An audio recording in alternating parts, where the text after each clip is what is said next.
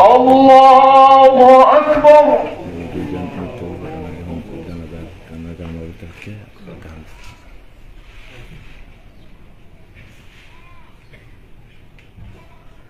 الله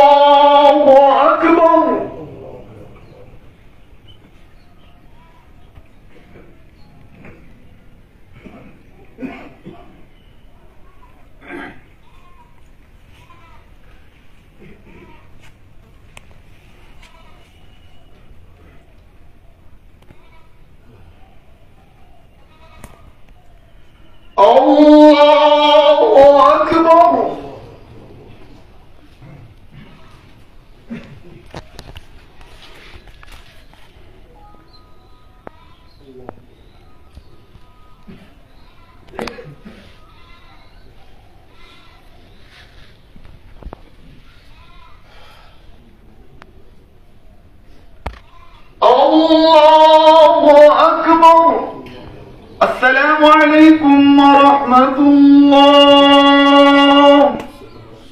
السلام عليكم ورحمة الله.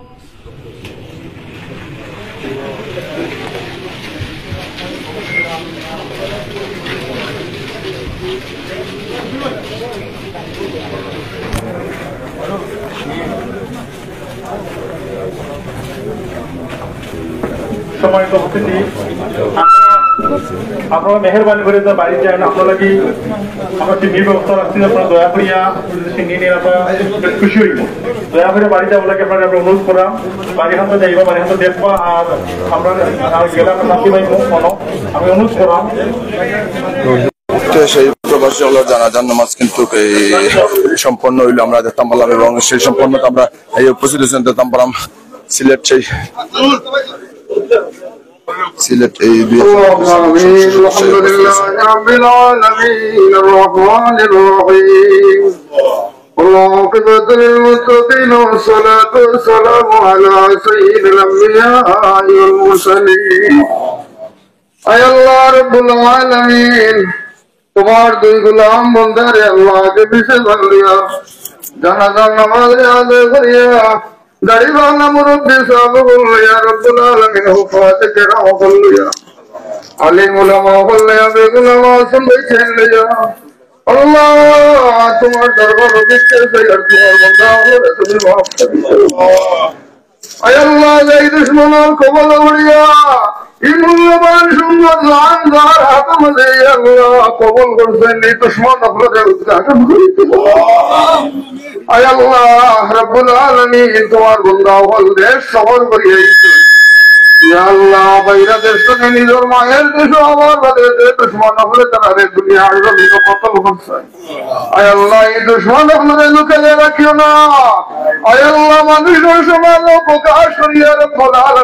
শাস্তির ব্যবস্থা তুমি করিয়ে দেবো। আল্লাহ, রব্বুল আলামিন দুই বাইরে তুমি রব্বুল আলামিনে মাফ করিয়া আল্লাহ এই জানাজার নামাজে তুমি রব্বুল আলামিনে কবুল মঞ্জুর আল্লাহ যত প্রশাসন আল্লাহ তারা লাগি রব্বুল আলামিন। আল্লাহ তারা রে রে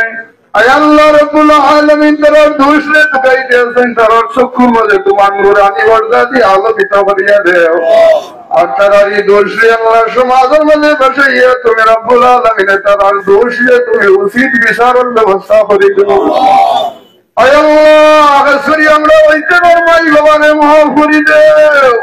আয় আল্লাহ এই সমাজের মধ্যে রব্বুল আলামিন আমাদের শান্তিতে বসবাস করার তৌফিক দান করিয়া দেও। আয় আল্লাহ আমরা ওইতে চিন্তা করলে মাই ভাবে মাফ করি দেও।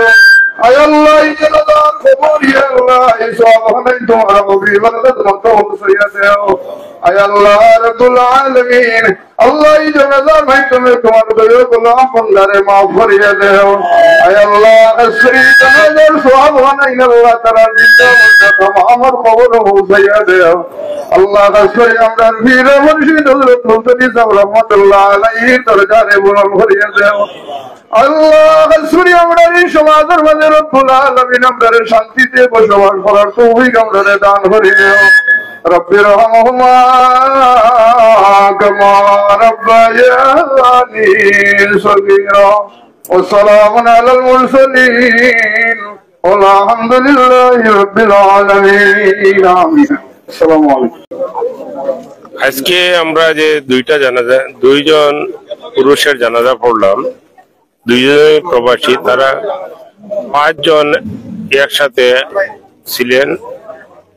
তিনজনের অবস্থা আশঙ্কাজনক হলেও দুইজনের অবস্থা ভালো, মহিলা এবং ছেলেটার অবস্থা ভালো আছে।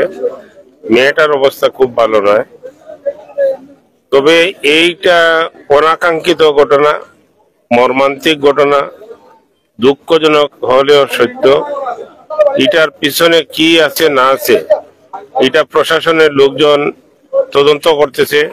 আমরা আশা করব যে সঠিক তদন্তের মাধ্যমে আসল জিনিসটা বাইরে আসবে এবং সত্যিকারের দোষী যারা আছে, দোষীরা বিচারের আওতায় আসবে।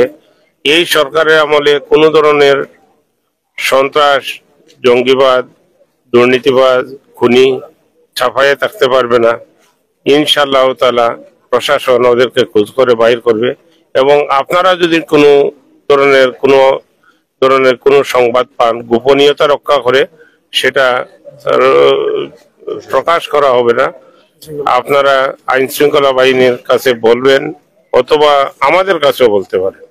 তাই আমি আমার বক্তব্য দীর্ঘায়িত না করে এই মর্মান্তিক দুর্ঘটনার জন্য আমি অত্যন্ত দুঃখিত মর্মাহত এবং আমি চাই এই দোষী ব্যক্তিদের শাস্তি হোক এবং যারা মৃত্যুবরণ করেছেন তাদেরকে আল্লাহ বেস্তে সর্বোচ্চ স্থান দান করুক।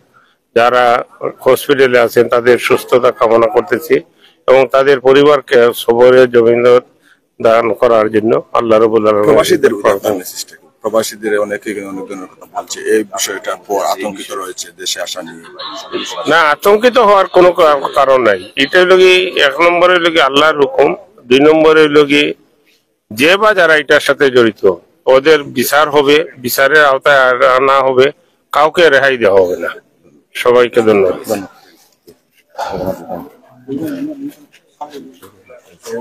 আমরা একটু এই স্থানীয় ওই স্থানীয় একজন আওয়ামী লীগ নেতার সাথে কথা বলব। এই যে ঘটনার পর কিন্তু আমরা দেখতে পাচ্ছি এলাকায় একটা আতঙ্ক বা এলাকায় একটা সুখের মাতম বস সুখের মাতম রয়েছে। তবে প্রবাসীরা আতঙ্কে রয়েছে। এই বিষয়ে আসলে আপনার মেসেজটা আমি খুবই মর্মাহত যে একসাথে পিতা পুত্রের লাশ সামনে লইয়া আজকে আমরা একটা জানাজা পড়লাম। আমার রাজনৈতিক জীবন এবং ব্যক্তি জীবনে এরকম কোনো জানাজা আমি আর পাইছি না। আজকে এই প্রথম। লাগে আমি ব্যক্তিগতভাবে খুব ব্যতীত মর্মাহত। পাশাপাশি আমার বাড়ি তাজপুর। তাজপুর একটা বাসার তারা বারাটিয়া ভাড়া নিয়ে তারা বসবাস করত। তাজপুর ঘটনাটা ঘটছে। এটার লাগেও আমি আরও বেশি ব্যতীত আমি সংক্ষেপে কইতাম সেই কথাটা। যে বর্তমান সরকারের তথ্য প্রযুক্তি অত্যন্ত শক্তিশালী। এই দেশ কোনো নাশকতা করিয়া কোনো রেহাই পাওয়ার কোনো সুযোগ নাই। আমরা দেখছি অতীতে প্রশাসন মাটির তল থেকেও বাইর করিয়া আনছে। আমি প্রশাসনের উদ্দেশ্যে একটা কথাই অনুরোধ করব যে এটা আমরা বাঙালি জাতির জন্য, আমরা সিলেটির জন্য, আমরা উসমানীনগরের জন্য এটা একটা কলঙ্ক যুব যদি এই ঘটনাটা উদ্ঘাটন না হয়। আমি বিশ্বাস করি সিলেটের এসপি মহোদয়, জনাব ফরিদুদ্দিন অত্যন্ত বিচক্ষণ একজন পুলিশ অফিসার এবং ডিআইজি মহোদয়।